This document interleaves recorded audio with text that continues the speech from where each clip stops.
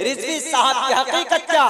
He is belong to Shia communities and in Shia he is Rafzi Shia और राफजी शिया जो होता है वो बिल इत्तिफाक वो काफिर और मुशरिक होता और उसका कुफ्र तो वाजे हो चुका है।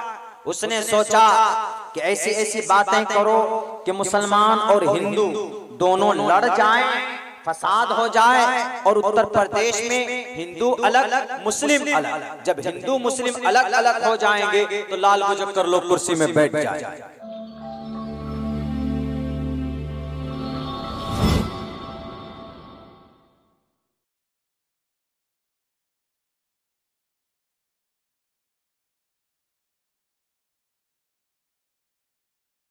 पढ़े लिखा, पढ़ा लिखा हमारा समाज, हमारा बच्चा होगा। तो रिजवी जैसे सालिम आदमियों के बकवास को दो तीन जुमलों के अंदर उनको जवाब दे सकता है, उनकी ज़ुबान को बंद कर सकता है, उनके मुँह में ताले डाल सकता। है हमने कई सैकड़ों जगहों के ऊपर यह बात कही है। रिजवी साहब की हकीकत क्या? He is belong to Shia communities and in Shia he is Rafzi Shia और राफजी शिया जो होता है, वो बिल इत्तिफाक, वो काफिर और मुशरिक होता। और उसका कुफर तो वाजे हो चुका है। उसने सोचा कि ऐसी ऐसी बातें करो कि मुसलमान और हिंदू दोनों लड़ जाएँ फसाद हो जाए और उत्तर प्रदेश में हिंदू अलग मुस्लिम अलग। जब हिंदू मुस्लिम अलग अलग हो जाएँगे तो लाल मुजफ्फर लोग कुर्सी में बैठ जाए। यही मकसद था और क्या था? लेकिन अल्लाह का करम है कि हमारे भारत के हिंदू मुसलमानों में वो सूझबूझ है। अब वो अकल आ गई है इन लोगों में। अब इनके बहकावे में नहीं आए। यही मकसद था। वरना कहीं से कहीं तक उनकी बातों में सच्चाई। उन्होंने किताब लिखी जिसमें 19 चैप्टर है। तीन चैप्टर को पढ़िए तीन चैप्टर वसीम रिजवी की किताब तीन चैप्टर में सिर्फ़ अपनी तारीफ़ अपनी तारीफ़। I am Wasim Rizvi I belong to I study I completed my study course from bank from London I completed my PhD course PhD किस चीज़ की की उसका तो मानसिक खराब मानसिक एतबार से बीमार है। वाकई मानसिक एतबार से बीमार। वो हमारे नबी को कहते हैं कि मोहम्मद मानसिक एतबार से बीमार थे। अरे बीमार तो तुम हो सुप्रीम कोर्ट ने भी तुम्हारे ऊपर पचास हज़ार का जुर्माना लगाया। क्या कहा कि ये छब्बीस आयतें निकाल दो? सुप्रीम कोर्ट के जज ने कहा कि तुम पागल हो। और ऐसे ही नहीं उनके ऊपर जुर्माना आयद कर दिया कि पचास हज़ार रुपए जुर्माना तुम्हें पे करना होगा अदा करना होगा। लेकिन अगर वसीम रिजवी जैसा जालिम और मलून खड़ा होगा तो हमारा बच्चा कैसे जवाब दे? एक एतराज़ उन्होंने किया ना कि मोहम्मद रसूलुल्लाह मानसिक एतबार से बीमार थे। मोहम्मद रसूलुल्लाह ऐसे थे ढोंगी थे नौज बिल्ला मोहम्मद रसूलुल्लाह औरतों के शौकीन थे। तो आपका बच्चा पढ़ा लिखा होगा, आपका बच्चा जानकार होगा। अगर कोई कंफ्यूजन में पड़ जाए तो इसको समझा सकता है आपका बच्चा। और यकीनन एजुकेशन से अपने समाज के अंदर हम तब्दीली पैदा कर सकते हिंदू मुसलमानों के बीच में इतिहाद की बात जब करेंगे, अपने एजुकेशन और नॉलेज की बुनियाद पर तो कोई रोकने और टोकने वाला नहीं होगा। हमारा बच्चा पढ़ा लिखा होगा तो एक चीज़, एक एक चीज़ को लोगों के सामने रख सकते हैं। उन्होंने क्या कही ये बात रिजवी साहब ने? अपने 19 चैप्टर की किताब लिखी। उस 19 चैप्टर में तीन चैप्टर शुरू के पढ़िए आप। मोहम्मद अल्लाह के पैगंबर और मोहम्मद की जीवनी। दो दो मरतबा मोहम्मद रसूलुल्लाह का नाम पूरी किताब के ऊपर। 19 चैप्टर इस किताब को हम पढ़ रहे हैं। अभी पूरा एनालाइज नहीं किया है। उनमें तीस तीनों चैप्टर में कहता आई एम वसीम रिजवी हम वसीम रिजवी हैं तो क्या हो गया कौन सा तीर मार दिया आप वसीम रिजवी हैं तो यू आर अ काफिर मुशरिक।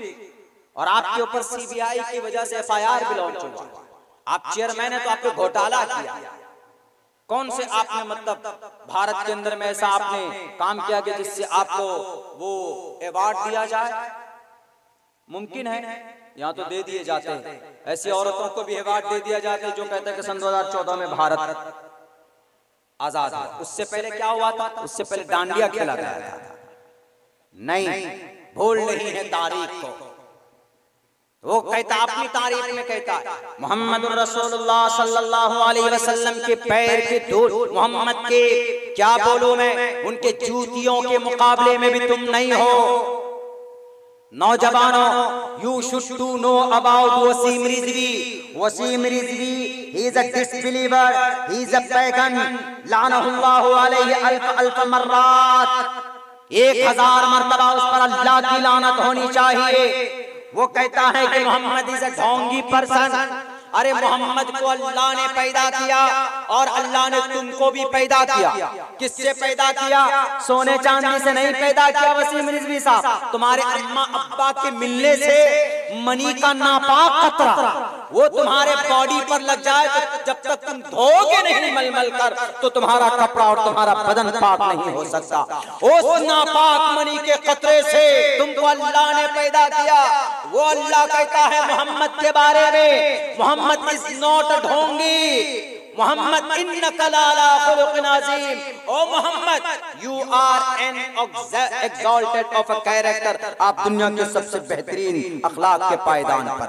हमारे नबी तो मोहम्मद के बारे में कहते हैं कि आप सबसे बेहतर हैं। और तुम शराब पीकर नशे में धुत होकर बोलते हो, अपने लाल बुझकर खुदाओं को खुश करने के लिए कि मोहम्मद ऐसे थे, वैसे थे।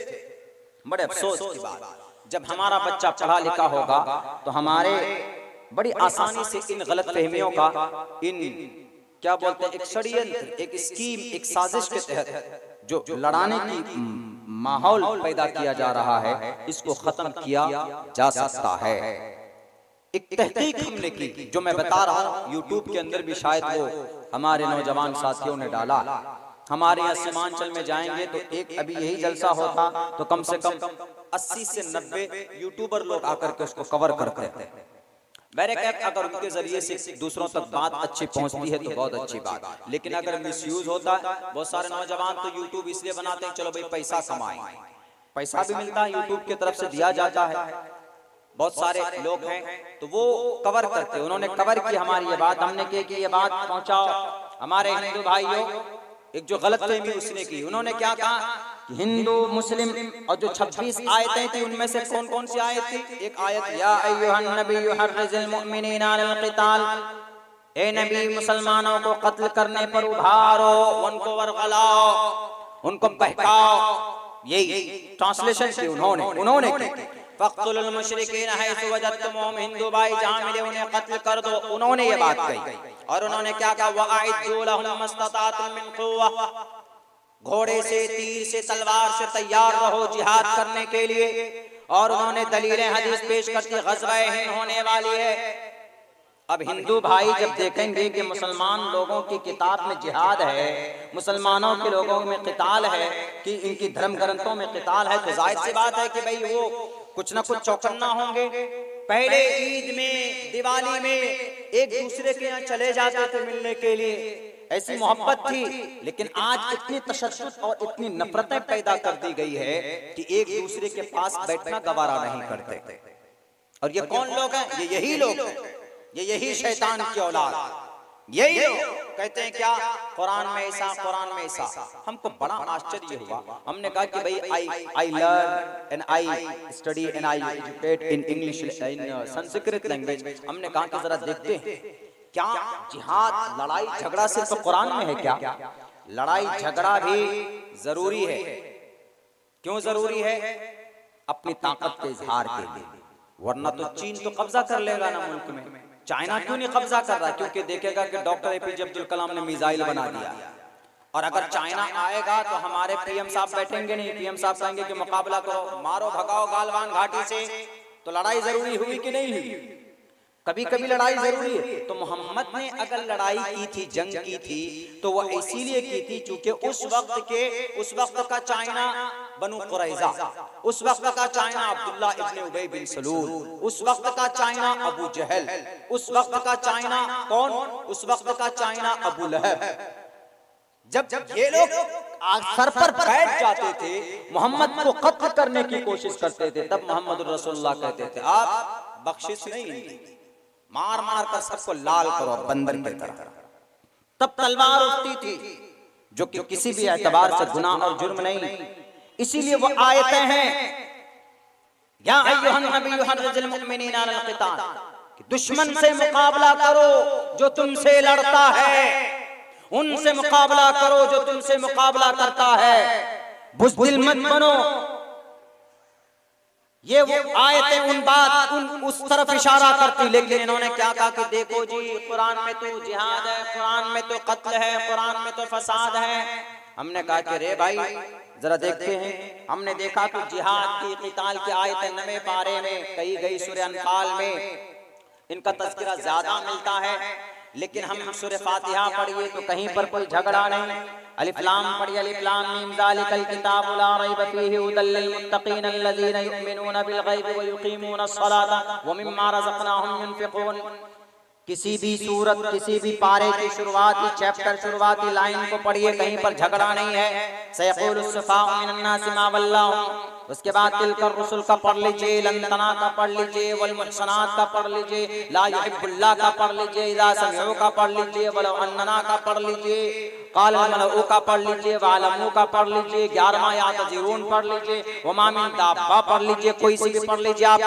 देखिए, शुरुआत में झगड़ा नहीं है, बल्कि शुरू में सूर्य फातिहा में तो झगड़ा ही नहीं है। सूर्य फातिहा में अल्हम्दुलिल्लाह रब्बिल आलमीन, ए अल्लाह, तमाम तारीफ़ दोनों जहान के रब के लिए है। मालिक यौमिद्दीन, द डे ऑफ़ जजमेंट, जो मालिक है दोनों जहान का कयामत के दिन का ईया का नाबुद व ईया का नस्तईन, हम तेरी ही मदद, इबादत करते हैं और तुझी से मदद तलब करते हैं। ए दिन सिरातल मुस्तकीम अल्लाह हमें तो सीधा रास्ता दिखा। Guide us to the right path to the straight way उन लोगों का रास्ता जिनके ऊपर आपका ब्लेजिंग और आपका रहम करम हुआ, आपकी नेमतों की बारिश हुई।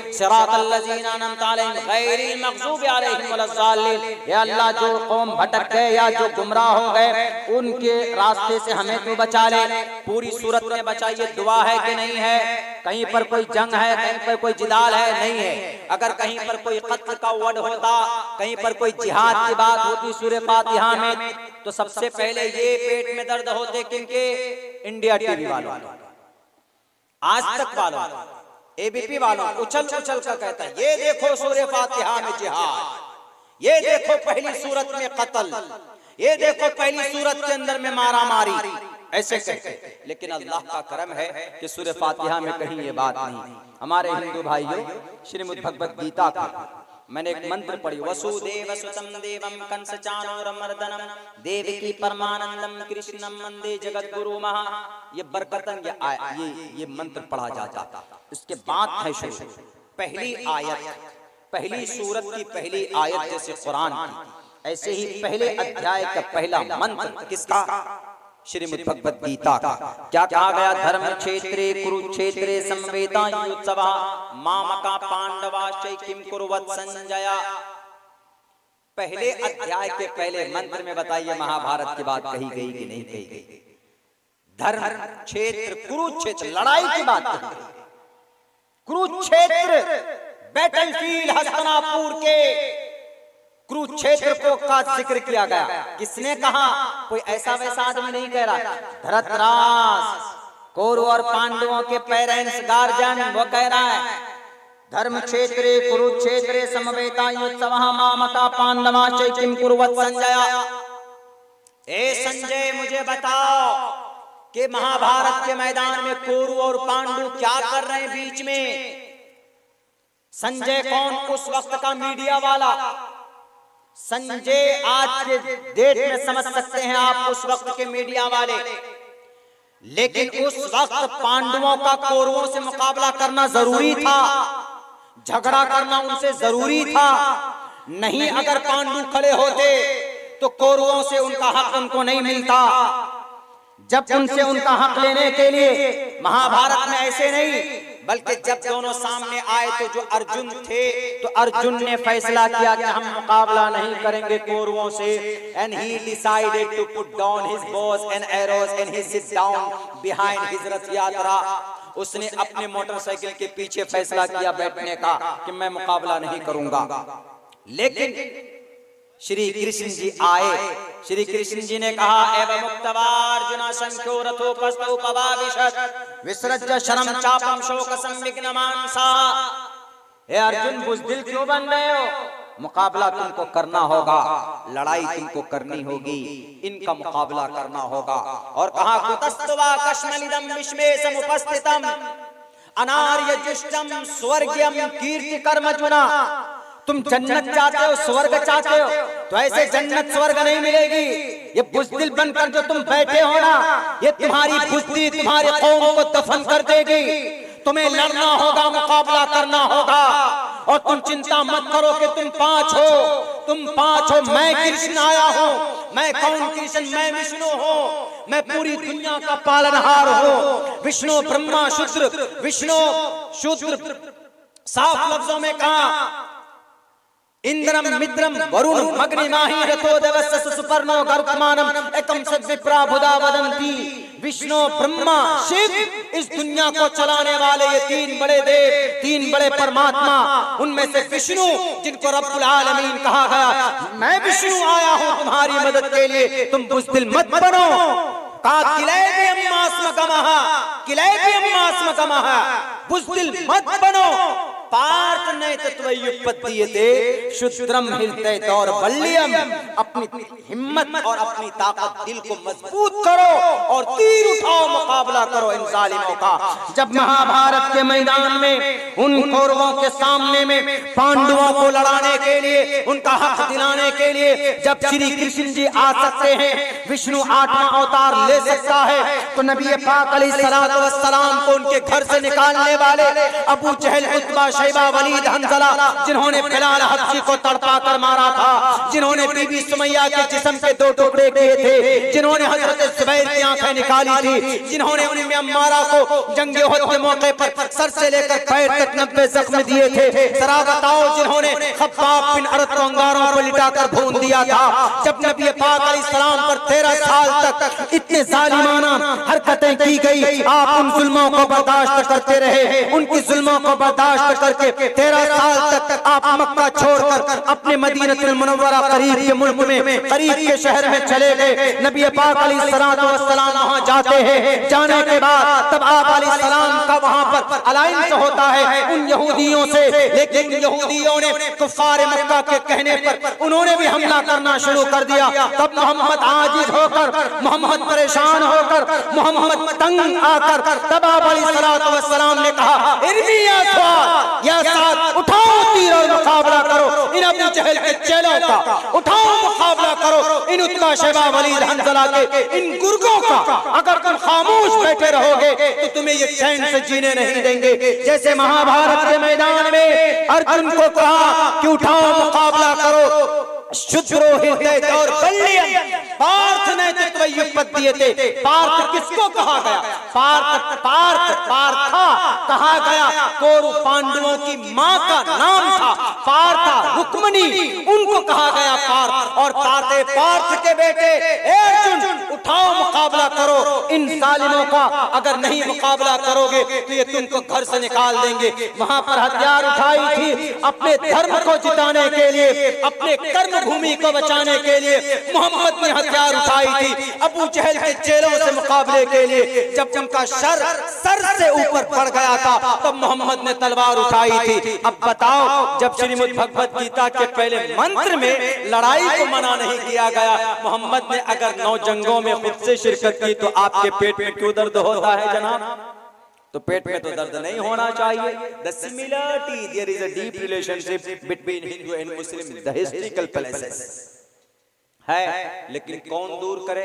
जब हमारा और आपका बच्चा पढ़ा लिखा होगा तो हम ये कंपेयर करके बता सकते हैं।